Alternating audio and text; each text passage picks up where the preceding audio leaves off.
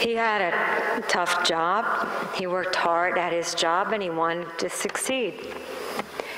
As we noted a couple weeks ago, for seven years he'd been serving as the Roman administrator for Judea ah, certainly Pilate had higher ambitions than being stuck in the dusty crossroads of Judea.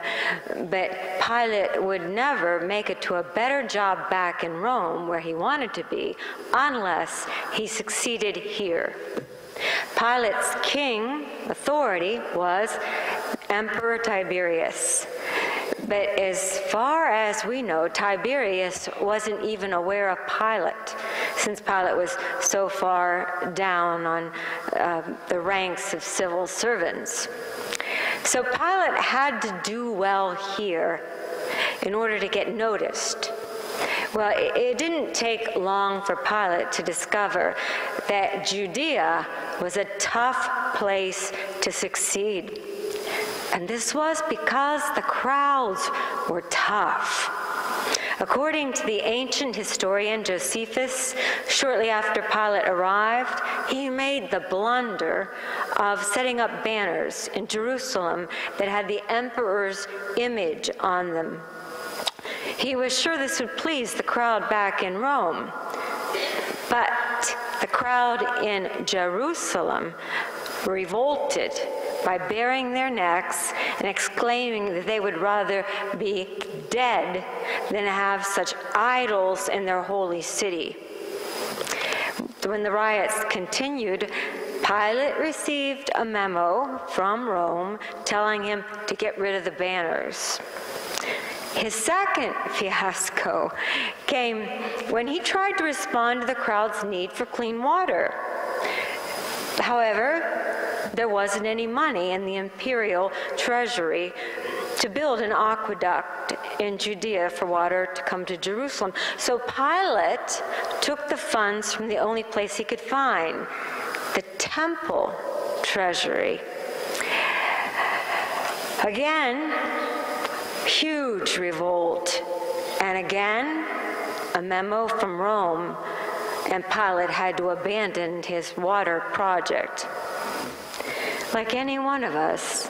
Pilate has a dream. He has a vague idea of where he wants to be in life and a crystal clear idea of where he doesn't want to be. But the hardest part of his dream is that he has to please the crowd to succeed. He knows it, and so do they. So, who is really Pilate's king? Who is his authority? He isn't really serving the Emperor Tiberius. That is just who he thinks he is serving as he tries to rule over Judea. But the ruler of this crowd is actually being ruled by them.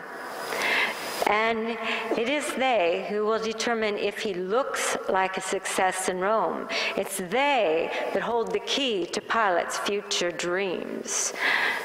Pilate has learned the hard way that he needs the crowd.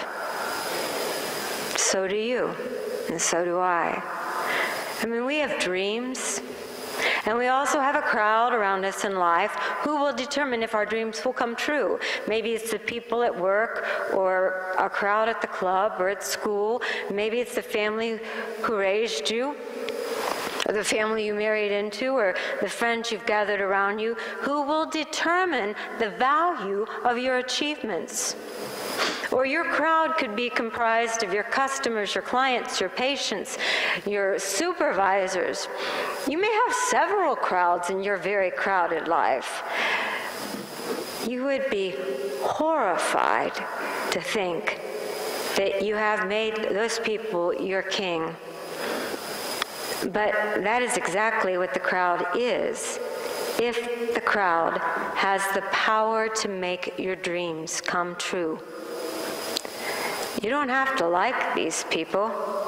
In fact, since they have so much power over your dreams, you probably don't like the crowd any more than Pilate did. But you do know you need their approval. This is why they have power, and this is why they are our true king.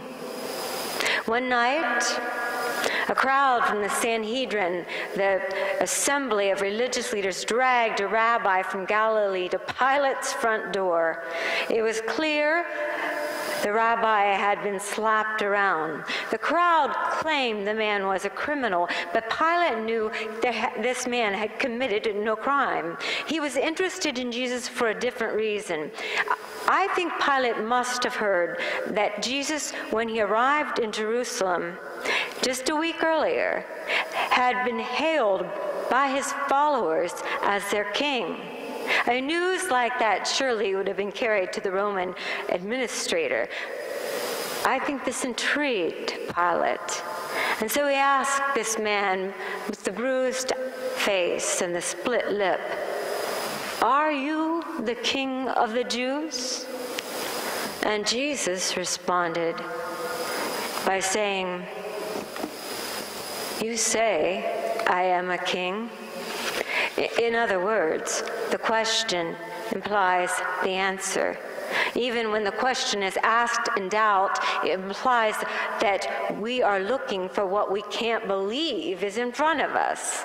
The religious leaders were looking for the Messiah, but they, they couldn't and wouldn't believe it was really Jesus. Pilate who had spent so many years trying to further his career by serving a king in Rome, and who had only succeeded in making the public opinion his king. He just couldn't believe that this beaten up rabbi was king. But I think, I think Pilate would have loved to have found a king who was worthy of his service a king who cared about him and knew him by name and didn't try to manipulate him like the bureaucrats in Rome and the complaining crowds of Judea. How could this man be that king? It seemed absurd, but still Pilate could not dismiss him. Pilate tried to tell the crowd the man was innocent, but they wouldn't hear of it. Pilate even tried to set a prisoner free, but the crowd chose Barabbas instead. Our text betrays Pilate making five trips between Jesus, who is inside, and the crowd outside. Inside, Pilate is drawn closer and closer to the, the peace, the truth of Jesus. Outside, he is repeatedly confronted with this frenzied crowd demanding, Crucify him, crucify him. Back and forth, Pilate travels, time after time, as if to express the struggle within his own soul. Desperate to get out of the dilemma, Pilate has Jesus flogged, severely flogged, 39 lashes, with just one lash short of 40 lashes, which was a death sentence. He allows his soldiers to ridicule him with a crown of thorns and a purple robe. And if at first he says to the crowd, Look, he's just a man. And then he says, Look, he is your king but to no avail. And Pilate, Pilate knows what the crowd wants. Success in our world has always been the reward given to those who maintain the delicate balance between giving the crowd what it wants without having to sacrifice too much of our own soul. We know that the world's dreams will cost at least a piece of our souls. I mean, some values have to be compromised. We tell one another, or we tell ourselves. Some expectations, you, you have to expect that they be lowered. For instance, you may really despise your job, but the security is good and you need that security. Or you admit to yourself that you're in a relationship that, that isn't love. But you tell yourself that at least it beats loneliness. We think we can just giving, keep giving more and more pieces of ourselves up, pieces of our soul, but eventually the soul is almost gone, leaving us feel so empty inside. And then one day, maybe in worship on Sunday, you are staring right at Jesus, who has already been rejected by the same crowd who's using you. And something in your soul says, This is the one you are to serve and have been called to serve all along. But how do you do this? How do you free yourself from the tyranny of the crowd? I can answer it. I'm not sure I can actually do it in my own life, but I can tell you the answer. Perhaps we can help one another. The answer is this You and I will never find the courage to be free until we no longer care about the rewards the crowd dangles in front of us. If you think making the crowd happy will make your dreams come true, then you've got the wrong dreams. And the crowd was never going to give them to you anyway. If you want to see your life, if you want your life to be for something that matters in this world and in the world to come, you want your life to be about peace and, and justice, healing and restoration, forgiveness and reconciliation, then you have to stop trying to make the crowd happy. Jesus loved the crowd, but he never reduced his ministry to pleasing them. Now, why do you think God has put you where he has in life. In the midst of one particular crowd, perhaps at work, one, one at home. Why are you in leadership there and why are you in leadership here? It's not to please a crowd.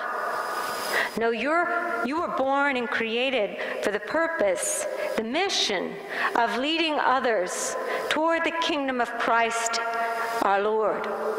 And sooner or later, a moment comes when every one of us has to face the same moment of decision that Pilate in our text is now encountering.